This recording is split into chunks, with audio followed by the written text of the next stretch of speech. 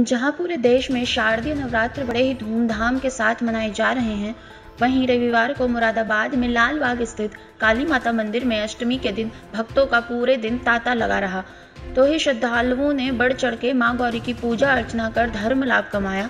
तो वहीं श्रद्धालुओं का कहना है कि अष्टमी के दिन महागौरी की पूजा अर्चना करने से माँ गौरी रिद्धि सिद्धि व धन वैभव, यश, कीर्ति आदि चीज़ें प्रदान करती हैं।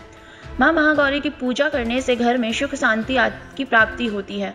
वहीं काली माता मंदिर में शरणार्थी मंडल के लोगों का कहना है कि हर छह मई में नवरात्रि बड़ी धूमधाम के साथ मनाया जाता है।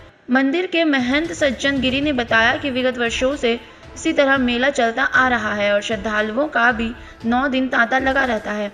काली मंदिर महंत की माने तो प्रशासन द्वारा सभी सुविधा मुहैया कराई गई है।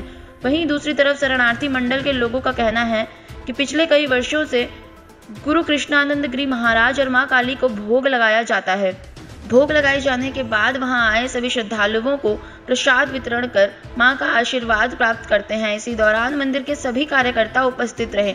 नवीन अग्रवाल, संजय रोहिल्ला, अमित कुमार, दीपक अग्रवाल, शेखर रस्तोगी, गौरव रस्तोगी राजू प्रसून अग्रवाल निशांत अग्रवाल राजन अग्रवाल राहुल कश्यप मोहित समरवाल ईशांत रस्तोगी शरद रस्तोगी आदि मौजूद रहे। बाबा जी लगभग पूरे नवरात्र बीत चुके हैं आज अष्टमी का दिन है। क्या कोई व्यवस्था की गई है? व्यवस्था सब बढ़िया चल रही है किस किस तरह की व्यवस्था की गई है? सजावट से लेकर के पुलिस प्रशासन का कैसा सहयोग रहा है? सजावट सब भैया अपनी तरफ़ से। प्रशासन तरफ़ नहीं सजावट सब अपनी तरफ़ से। मंदिर कुछ इतिहास के बारे में बताइए बाबा जी क्या इतिहास है मंदिर इतिहास बहुत पुराना है इतिहास बहुत ज़्यादा पुराना। है